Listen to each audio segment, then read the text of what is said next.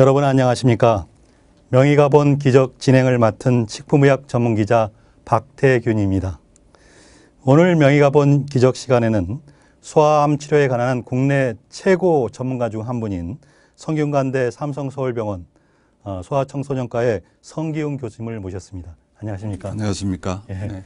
새해 복 많이 받으십시오. 새해 복 많이 받으십시오. 저야 명성을 많이 익히 들었지만 그래도 시청자분들을 위해서 간단하게 자기소개를 좀 해주시죠. 예, 저는 어, 삼성 서울병원 어, 소아청소년과에서 소아암 치료를 담당하고 있는 어, 성기용입니다. 주로 고형암 치료를 담당을 하고 있습니다. 서울대 나오셨죠? 그렇게 네, 알고 그렇습니다. 있습니다. 네. 그리고 저기 그 센터장 소아암 센터장을 하고 계시죠. 소아암 센터를 맡고 있고요. 그다음에 소아 혈액 종양 학회의 임상 연구 이사를 맡고 있습니다. 그 소아암 센터장이랑 소아암 센터라는 게 전국적으로 많이 있습니까? 그런 게? 어, 각 병원별로 이제 소아암 환자를 담당하는 선생님들이 계시지만 이제 저희 예. 병원은 좀더 어, 암 환자 진료를 특화를 하기 위해서 예. 소아암 센터를 운영을 하고 있습니다. 아, 그럼 다른 병원은 그렇게 많지 않나요? 네, 그렇습니다. 어, 그러면 보통 소아암이라고 그러면 몇 살까지를 얘기합니까? 어, 보통 이제 18세까지 에, 소아암 환자라고 얘기를 하지만 어, 가끔씩 이제 성인에서 어, 생기는 소아암 환자도 어, 소아청소년과에서 어, 담당하기도 합니다. 왜냐하면 그 종양의 특성이 어, 성인암과는 다른 소아암의 특성을 가지고 있기 때문에 나이가 많은 어른에서도 소아암이 이, 걸린 경우에는 소아과에서 치료를 하기도 합니다. 아, 그럼 최대 몇 살까지 치료해 보셨습니까? 어, 제가 기억하기로는 어, 33세 어. 환자도 어, 아. 치료를 해본 적이 있습니다. 아, 그분 소아과 와서 이제 네, 네. 치료를 네, 받으신 네. 모양이죠. 그 사실 아이가 암에 걸리게 되면 마음이 참 안쓰럽잖아요. 안, 아까 아픈데 국내 그 소아암 환자는 연간 한 몇 명 정도나 발생을 합니까? 어, 현재 연간 한 1,200명 정도가 발생하고 있습니다. 제일 이제 흔한 질환은 백혈병이고 그 다음으로는 뇌종양, 림프종, 신경모세포종 같은 종양이 이제 비교적 흔한 질환입니다. 네. 그 1,200명이라고 그러면 지금 소아 그러니까 청소년이 한 전국적으로 한 1,500만 명, 명 정도 됩니까?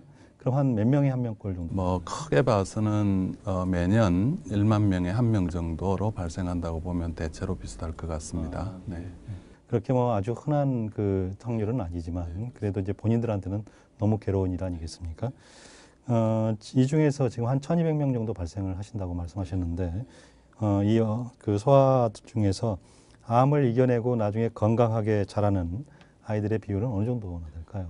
어, 성인 암에 비해서 소아암은 대체로 그 완치율이 높습니다. 그래서 질환마다 음, 90% 이상 완치되는 질환도 있고 또 때로는 어, 백혈병도 거의 이제는 급성 림프구성 백혈병이 가장 대표적인데 이제는 거의 한 어, 완치율이 90% 정도에 이르렀습니다. 그리고 또 윌럼스 종양 같은 종양도 있고 또 한편으로는 어, 완치율이 아직도 어, 50% 이하인 질환들도 있지만 전체적으로 평균을 하면은 약 70 내지 80% 정도의 환자가 완전히 완치가 됩니다. 우리가 보통 성인의 경우는 한 50% 잡잖아요. 우리나라 전체 평균이 한 50% 약간 넘는 것 같은데 완치. 성인과 개념이 조금 다른 것은 성인에서는 이제 어, 암이 완치가 되든 안 되든 되게 5년 생존율을 중요한 지표로 삼습니다. 근데 이제 소아에서는 어, 5년 생존뿐만 아니라 암이 완전히 완치되는 개념이 중요하기 때문에 그 완치율을 어, 그러니까 중요한 지표로 생각하고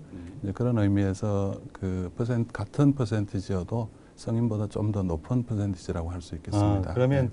성인에서는 보통 5년 생존율을 완치율이라고 그렇게 얘기하는데 그 어린이 같은 경우는 평생 평생 생존율이라고 볼 수가 있겠네요. 그죠? 자, 그러면 이 소감은 그 성인암과는 어떤 차이가 있습니까?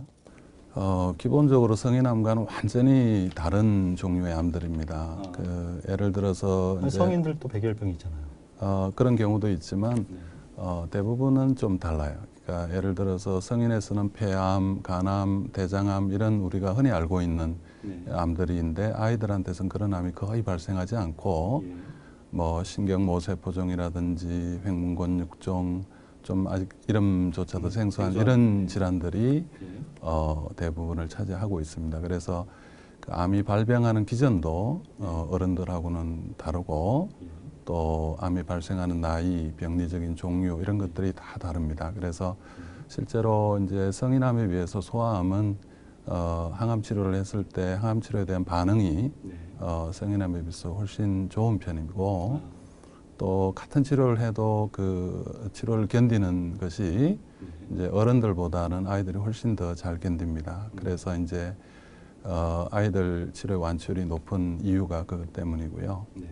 어, 그 다음에 이제 좀 어른암하고 좀 다른 것은 네.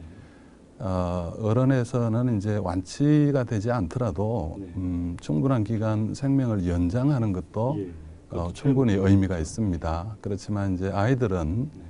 어, 연장의 의미는 성, 어, 상대적으로 성인에 비해서 훨씬 적습니다. 네. 그러니까 어, 두 살, 세 살짜리 아이가 뭐 1년, 2년 연장되는 것이 네. 어른들하고 좀 다르거든요. 예. 그래서 아이들한테는 예. 그 완치가 오직 유일한 의미 있는 지표고 네. 또한 가지 좀 차이가 나는 것은 어, 어른들은 치료로 인해서 다소간의 뭐 후유증이나 장애가 있더라도 네. 어, 음, 그게 이제 아이들만큼 심각하지는 않습니다. 아이들은 치료로 인해서 어떤 심각한 후유증이 남으면 평생을 어, 그 후유증을 가지고 살아야 되기 때문에 네. 어, 치료로 인한 그런 후기 합병증들이 네. 성인에 비해서 아이들은 훨씬 더 중요한 그런 치료 개념의 차이가 있겠습니다. 아, 그리고 뭐 성인의 경우에는 보통 이제 뭐 담배를 피운다든가 어떤 뭐 살이 많이 찐다든가 하여튼 자기 뭔가 원인이 자기한테 있는 경우가 많이 있잖아요. 근데 어린이 소아암의 경우에는 뭐 자기가 뭐 그 자기 원인이 아닐 것 같은데 되게 원인은 그럼 어떻게? 그러니까 성인에서는 이제 뭐 방사선에 노출된다든지 발암 물질에 노출된다든지 담배를 피운다든지 이런 것들이 이제 중요한 암의 한 원인으로 밝혀져 있지만 예. 어, 아이들은 어, 그런 건 아니거든요. 그렇죠. 그래서 아직 정확하게 우리가 그 소아에서 예. 어, 암 발병 원인을 정확하게 이해는 못하지만 아마도 유전적인 요인들이 예, 성인에 비해서 훨씬 더 크게 작용하고 있을 것이다라고 우리가 추정을 하고 있습니다. 근데 아직 그 어, 발병 원인에 대해서는 아직은 좀 더 연구가 필요한 그런 그 단계. 만약에 유전적인 원인이 문제가 된다고 하면은 그러면 아이가 한 아이가 예를 들면 소아암이다. 그 밑에 동생이라든가 형제들이 비슷한 암에 걸릴 가능성이 있습니다. 네, 어, 부모님들이 이제 한 아이가 암 진단을 받으면 그 문제를 굉장히 걱정을 많이 하시거든요. 다른 아이가 혹시 또 걸리면 어떡하나 이제 그런 걱정을 하시는데 어, 실제로 그런 유전적 요인들이 있어서 어, 형제가 암이 다시 발병될 확률이 보통 정상인 아이들보다는 우리가 높다고 생각을 하고 있습니다. 그렇지만 어, 그 빈도가 어, 실제로 부모님께서 아주 걱정을 많이 하실 정도로 높지는 않습니다. 그래서 대개 한 아이가 암의 그 어, 진단을 받으면 그 형제들은 어, 그래도 음, 한 번쯤은 어, 병원에서 한번 진찰을 제대로 받아보는 것을 어, 권하고 있습니다. 그렇지만 어, 부모님 많이 걱정할 정도는 아니라고 생각합니다. 교수님께서 그 소아암 센터, 그러니까 소아암을 전공하고 치료하기 시작하신 게 몇 년이나 되셨죠? 어, 이제 20년이 되는 것 같습니다. 아, 그러면 20년 동안에 이렇게 형제나 아니면 이렇게 남매나 이렇게 그 가족 간에 걸린 사례가 간혹 있었습니까? 간혹 두세 건 정도. 20년 동안 두세 건. 네네. 네. 그러니까 실제 많은 경우는 아닙니다. 네네. 네. 자, 그러면 이 소아암이란 게 이제 완치가 중요하다 이렇게 말씀하셨는데 완치를 위해서 부모가 해야 될 일은 어떤 것들이 있습니까? 어, 소아암 어, 치료는 아까 말씀드렸듯이 성인보다 어, 치료에 대한 반응이 좋고 네. 또그 어, 치료를 애들이 잘 견디기 때문에 그래서 어른들보다는 아이들에서 치료를 좀 더 강하게 합니다. 강하게 한다는 건 약을 세게 쏜. 네네 그렇습니다. 어, 근데 그- 그걸 견디나요, 아이들이? 음, 근데 아이들이 훨씬 더 어른들보다 잘 견디기 잘 때문에 이제 그 더 세게 쓸수록 우리가 더 많은 효과를 기대할 수 있는데 어른들 종양에는 우선 어른들이 잘 견디지를 못하고요. 또 어른들 겨- 종양에서는 더 세게 쓴다고 해서 효과가 비례해서 더 많이 나오지를 않는 경우가 많습니다. 근데 아이들은 치료를 잘 견디고 또 치료를 세게 할수록 치료 효과를 더 많이 볼 수 있기 때문에 치료를 어른보다 강하게 하는 편인데 문제는 이제 그만큼 치료를 세게 하면 예, 부작용도 많습니다. 어, 여러 부작용들이 많은데 그 중에서도 제일 어, 중요한 부작용은 면역 기능 저하로 인한 감염입니다. 그래서 부모님들이 이제 그 아이를 돌볼 때 가장 염두에 두고 주의를 해야 될 점이 어, 감염이 되지 않도록 관리하고 혹시나 감염이 되는 경우에도 어, 빨리 발견해서 치료할 수 있도록 조처를 하는 것이 부모님의 역할 중에서 가장 중요한 역할이라고 생각을 합니다. 예, 간혹 이 소아암 환자들 보면은 이제 무균실 같은 그런데 완전히 격리된 상태로 치료를 받잖아요. 그런 게 감염 때문에 그런 거예요. 네, 그렇습니다. 네. 그러면 만약에 이 감염 관리가 되게 중요하다고 말씀하셨는데 아무래도 이제 아이보다는 부모님이 할 역할인 것 같다는 생각이 드는데요.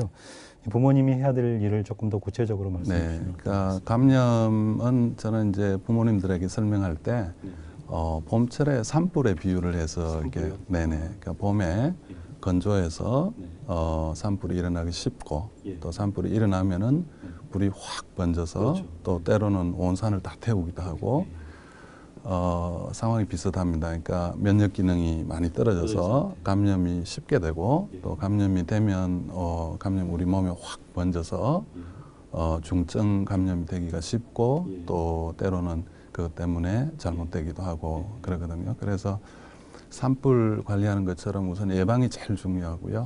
네, 그 다음에는 어, 그래도 어, 감염이 되는 경우는 감염이 번지기 전에 진행되기 전에 빨리 발견해서 빨리 치료로 어, 이어지는 게 중요한데 어, 감염 예방을 위해서는 이제 감염의 경로가 크게 이제 에, 외부에서 들어오는 경로가 있고 또 우리 몸에 있는 음, 살고 있는 균들이 면역 기능이 떨어지니까는 병을 일으키는 그런 내부 경로가 있습니다. 근데 내부적인 어, 경로 관리를 위해서는 예를 들어서 입안에 가글을 한다든지 또 항문 쪽에 어, 자욕을 열심히 한다든지 이런 부분들이 필요하고 또 노력을 해서 막을 수 있는 부분들은 이제 주로 외부 감염인데 어, 주로 이제 바이러스 어, 감염이 예, 제일 문제가 됩니다. 요즘 이제 인플루엔자 같은 것들요. 그래서 그런 것들을 막기 위해서는 어, 사람들과의 접촉을 최대한 차단하는 것이 중요하고 이제 그 외에 마스크를 쓴다든지 손 닦기를 잘 한다든지 이런 것들이 이제 부모님들이 감염 예방을 위해서 중요한 어, 부모님이 챙겨야 될 어, 몫이고 두 번째로 이제 조기에 발견하는 건데 이제 어, 감염의 어, 종류에는 여러 종류들이 있고 종류마다 증상들도 다 다양합니다. 그런데 종류에 상관없이 공통적인 증상이 하나 있습니다. 그게 뭐냐면은 열이 나는 거죠. 그래서 어, 부모님이 아이가 열이 있는지 없는지만 평소에 항상 체크를 하면은 감염을 조기에 발견할 수가 있습니다. 그리고 이제 아이가 어, 열이 나는 경우에는 빨리 응급실에 와서 음, 빨리 치료를 할 수 있도록 하는 것이 이제 그 세 가지가 예방, 조기 발견, 조기 치료가 부모님께서 해야 될 가장 중요한 몫이라고 생각합니다. 음, 그러면 이 소아암 환자들은 되게 그래도 병원에 입원하는 경우도 있지만 가정에서 생활을 많이 하게 되죠, 주로. 어, 가능하면 저는 그 집에서 어, 치료하도록 권하고 있습니다. 왜냐하면 이제 아까 말씀드렸듯이 감염은 접촉에 의해서 생기는 경우가 제일 많습니다. 예, 그래서 어, 사람이 많은 환경은 어, 절대적으로 아이한테 좋지 않습니다. 그래서 어, 뭐 유치원이나 또 백화점 뭐 이런 학교, 교회 이런 거죠. 어, 그래서 이제 가능하면 집에서 다니도록 하고 병원도 가장 감염 환자가 많은 환경 중에 하나입니다. 그래서 꼭 필요한 경우를 제외하고는 가능하면은 집에서 다니도록 어, 부모님께 설명을 하고 있습니다. 아, 그러면 소아암 환자의 경우는 완치가 되기 전까지는 학교 가기는 좀 어렵다고 볼 수 있습니다. 아마 면역 기능이 어, 일정 수준 이상 떨어지는 아이들은 어, 정상적인 학업은 어, 좀 어렵습니다. 아, 그러면 이제 완전히 완치 판정을 받은 다음에 네, 어느 정도 면역 기능이 이제 회복되어야 정상적인 학교 생활로 복귀를 할 수가 있습니다. 그 지금 이제 완치 후에 삶의 질을 관리하는 것도 중요하다 이렇게 말씀하셨잖아요. 그 후기 합- 합병증 감소를 위해서 부모가 해야 될 그런 일들이 있습니까? 어, 우선은 이제 가장 중요한 게 부모님의 이제 인식 전환이 좀 필요합니다. 그러니까 그 어, 치료를 하는 데 있어서 완치가 가장 중요한 어, 가치지만 또 완치 후에 건강한 삶을 어, 살도록 하는 것도 그 못지않게 중요하거든요.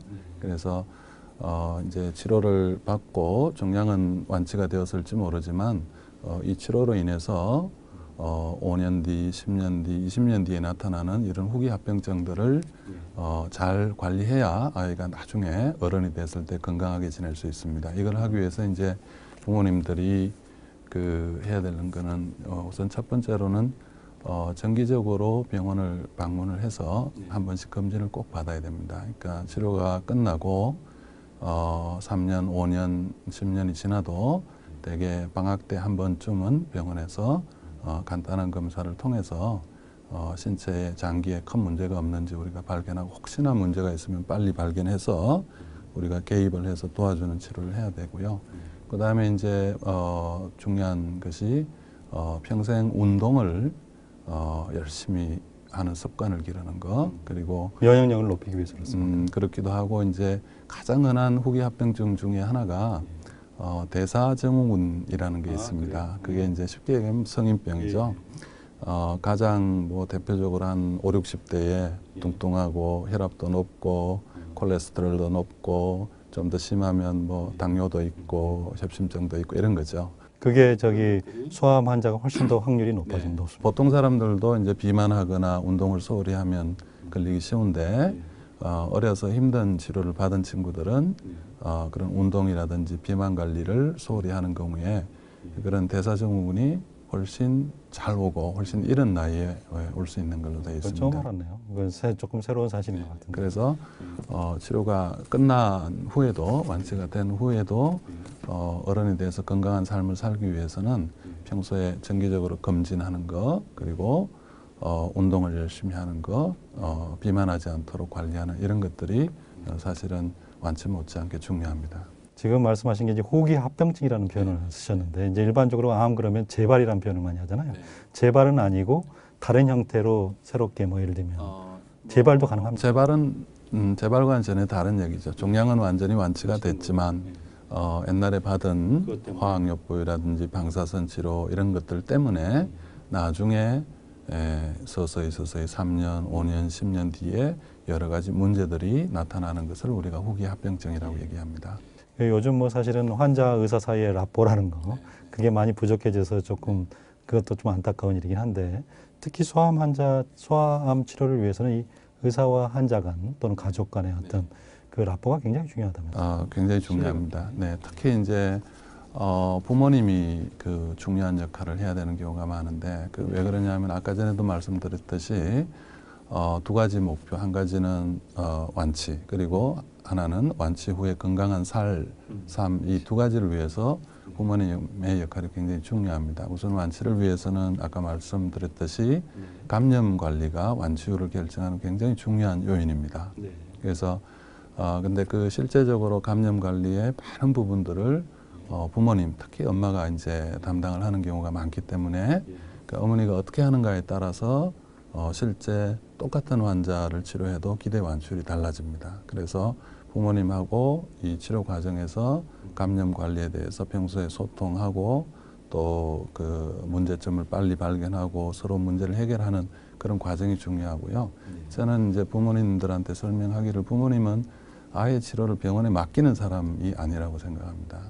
부모님은 아이의 생존율을 기대 생존율을 결정하는 가장 중요한 역할을 하는 닥터네요, 닥터. 네 그렇습니다. 그래서 부모님이 제대로 아이의 치료를 이해하고 보조적인 역할을 어, 하느냐 하지 않느냐가 어, 완치에 굉장히 중요한 요인입니다. 그리고 두 번째 이제 후기 합병증 문제에 있어서도 평소 어, 생활 관리를 어, 부모님들이 해야 됩니다. 아이들이 이제 어, 운동이라든지 비만 관리라든지 아이들이 그 중요성을 제대로 인식하고 또 스스로 이렇게 통제할 수 있는 그런 어, 나이는 아니거든요. 그래서 부모님들이 그런 것들을 평소에 어, 일정 부분 개입을 해서 관리를 하는 것이 예, 굉장히 중요한 요인입니다. 하여튼 이 부모님들이 관리하면서도 스트레스 엄청 많이 받으시겠네요.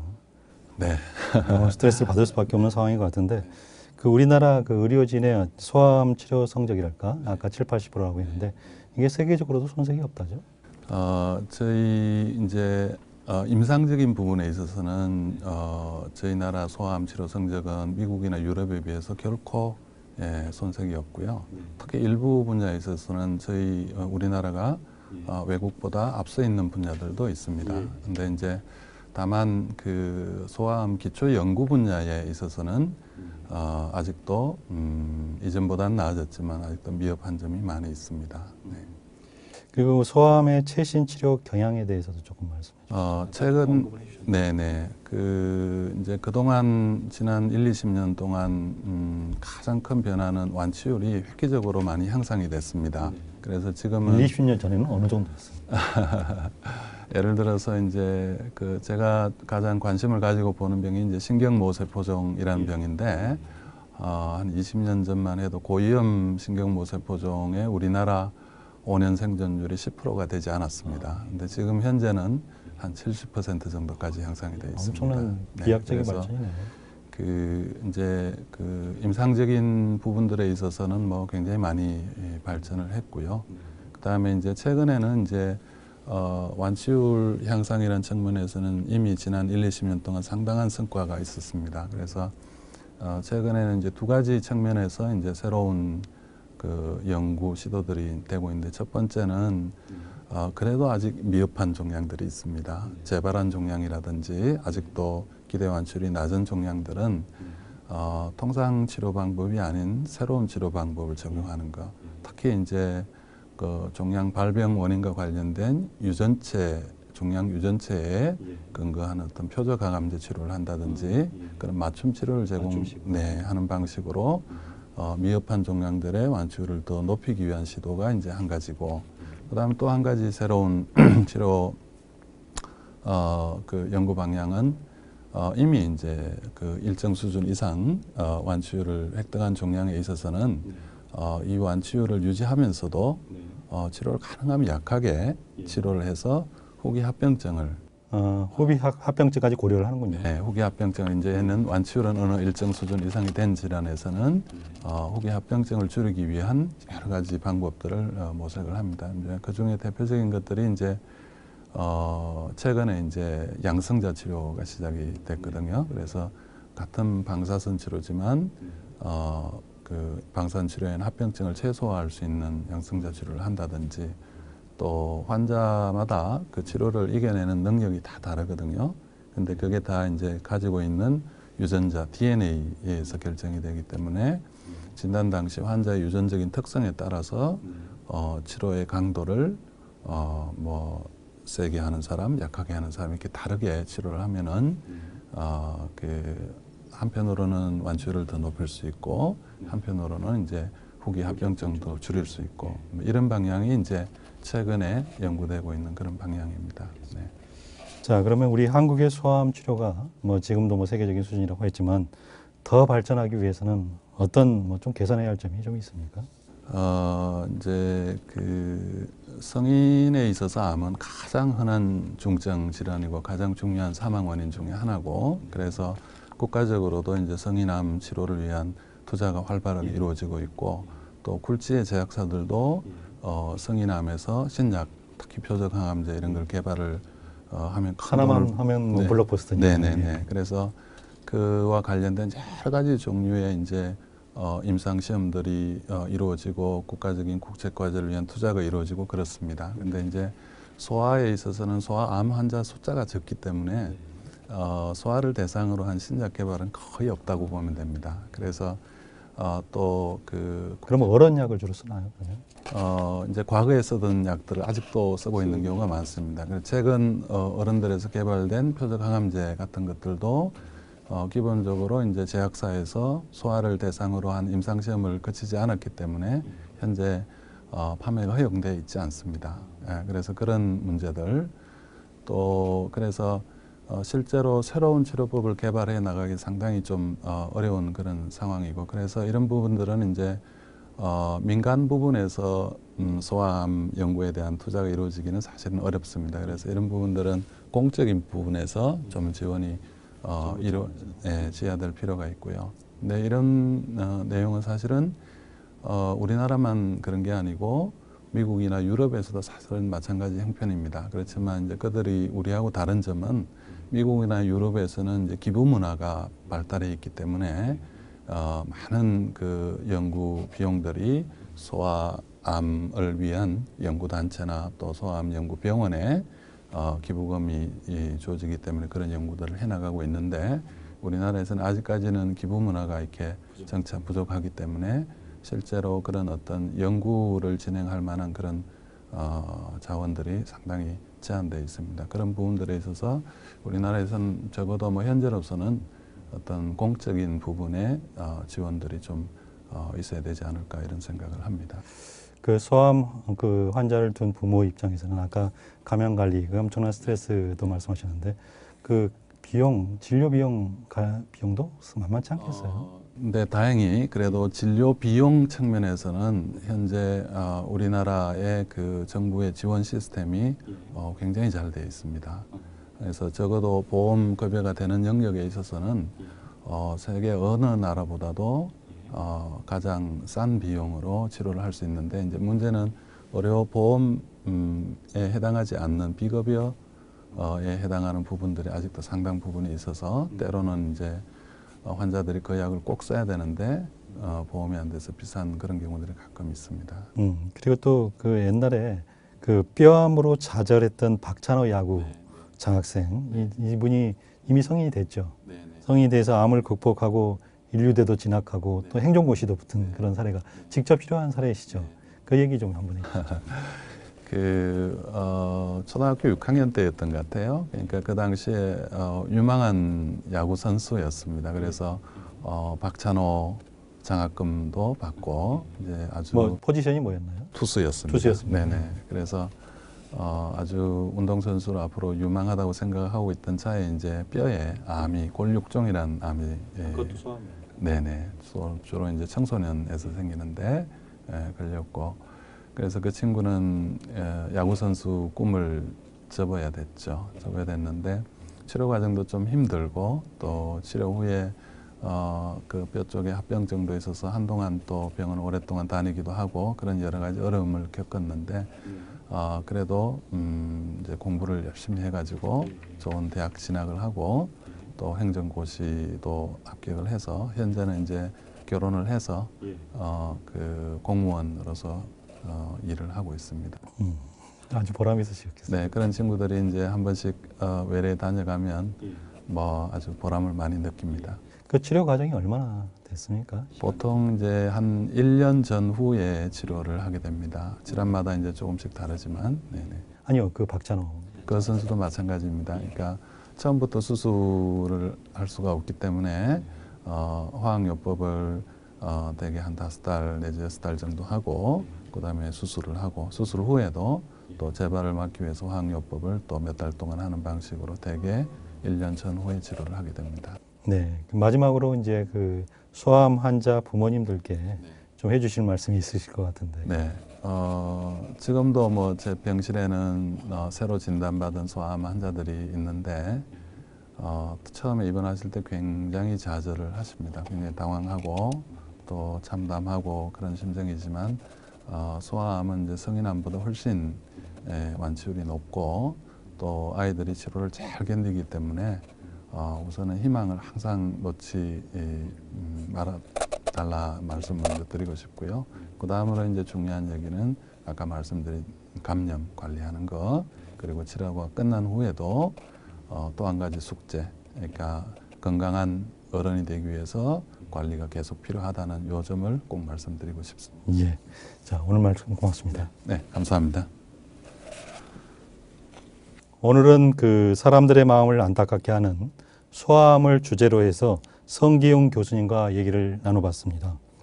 소아암 환자와 소아암 자녀를 치료하기 위해서 어, 애쓰고 계시는 그 수많은 부모 또 가족분들에게 성 교수님의 말씀이 어, 큰 도움이 됐을 것 같은 생각이 드는데요. 어, 시청해주신 모든 여러분 어, 새해 복 많이 받으십시오. 고맙습니다.